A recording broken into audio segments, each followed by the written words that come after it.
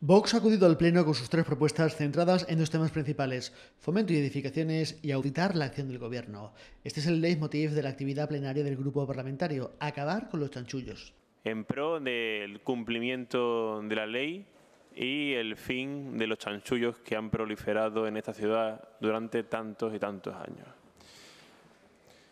Las construcciones ilegales en Ceuta han proliferado hasta llegar a niveles escandalosos. Esto no es secreto para nadie y está a la vista de todo el mundo. Caballas se ha abstenido en la primera propuesta señalando que Vox no define qué quiere hacer con la cuestión de las construcciones ilegales y si tiene intención de proponer el derribo de las barriadas con 100 años de historia como Benzú, El Príncipe o Pasaje Recreo. ¿Ustedes, los de Vox, qué piensan hacer con barriadas que tienen más de 100 años de historia y que no tienen papel en sus casas?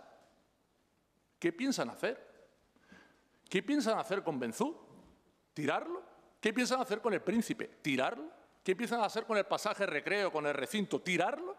La segunda propuesta de la formación tenía como objetivo fomentar el control de las viviendas de protección oficial de la ciudad y así como locales, optimizando la economía local y el acceso a la residencia, además de suponer un despilfarro a juicio de la formación, el abandono del patrimonio local. Una propuesta que ha sido aprobada por unanimidad. Las irregularidades de, en la adjudicación de las viviendas de, Loma Colmenar con prácticas eh, dignas de analogía con la camorra o la cosa nostra. Al borde del surrealismo eh, pueden llegar los criterios de concesión de algunas de estas viviendas, de, algunas de estas VPO, negándose hace solo tres años, en la pasada legislatura, un, una VPO a un hombre con un 95% de discapacidad. Durante la petición de auditoría externa de Vox, el portavoz Carlos Verdejo ha repasado lo que ha calificado de casos de corrupción en el gobierno y la administración local.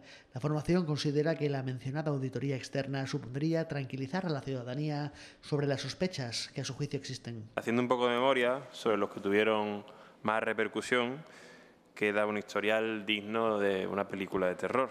Eh, tenemos el caso en 2014 de la Feria de Día, que provocó la dimisión de los por entonces consejeros y viceconsejeros de festejo, los señores Mirchandán y Jaramillo. El caso Maersa, cuyo proceso judicial continúa, que puso fin a la presidencia del señor Torrado, hombre de confianza de Viva. El caso en Vicesa, que es el más reciente, tanto PSOE como MDC han apoyado la propuesta de auditoría, señalando otros casos que han denunciado a lo largo de las pasadas legislaturas. Sin embargo, Mohamed Ali, recordando que el ayuntamiento tiene su propio sistema de control que no debe ser puesto en tela de juicio, ha sido la voz discordante. Ustedes verán, ustedes verán, señor Viva, porque usted también es responsable de todo esto. Usted es responsable de todo esto. Si usted, que se come las babas con el Partido Socialista, que nombra controladores de servicio todos los días, que dice un día sí, otro no, que no hay acuerdo.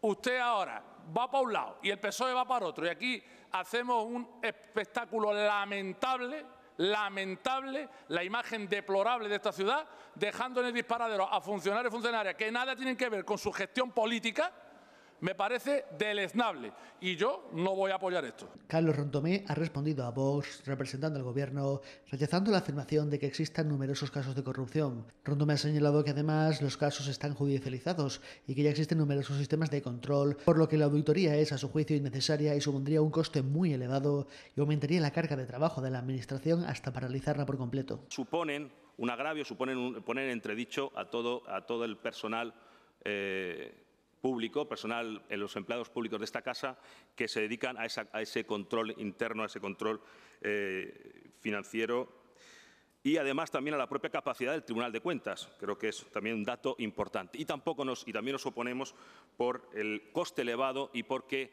aumentaría aún más la carga que ya tiene nuestra, nuestra Administración.